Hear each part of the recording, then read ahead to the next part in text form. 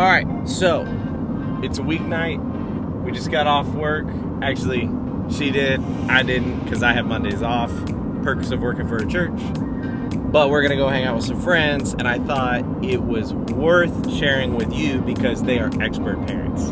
We're gonna go see our friends Miles and Madison. Madison is the most incredible cook. No offense to any other person out there. I'm not offended. She's a great cook. See? So we're headed there now. But uh, I figured it'd be also a good time. They just had a kid back um, in August, September? September. Forgive me for that one. But um, they are incredible parents, and I figured, you know what? It would be fun talking to them with you guys. So we'll see you guys there. Hey, brother. What's up, man? How get to know this? You gonna love this kid.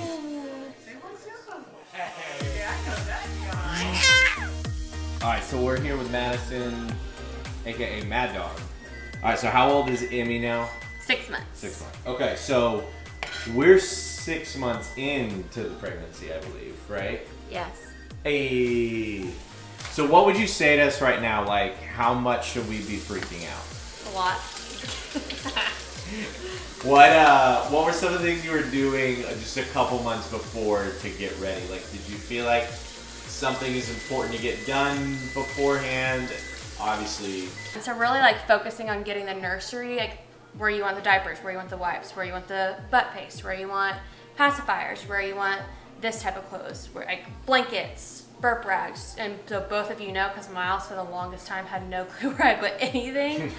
so he still doesn't know. Doesn't know. You, you were starting to think by six months in kind of what you wanted and Oh, yeah. and all that. But at that point, I think we had already had we had already had one shower. I think at that point, so we had a lot of stuff that we Yeah. needed to get organized. And getting organized between each shower is super important because we had three. how important is self-control every time you go to Target to make sure you don't fire? Very important. Target, bye bye, baby. but you get so much good stuff at showers that you, we really didn't spend that. I mean, as The priority That was much money. with baby bling bows, right? Or what's it called?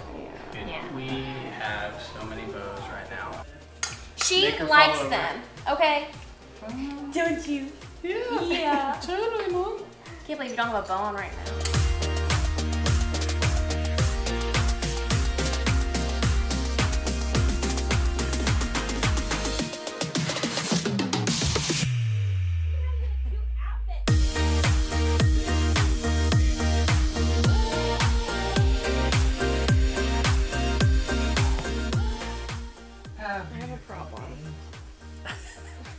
the first step is admitting it.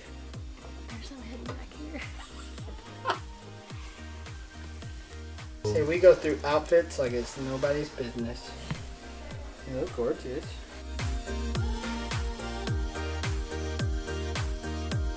Let's hear it. Six months in on the pregnancy for us. Yep. You're a couple months away.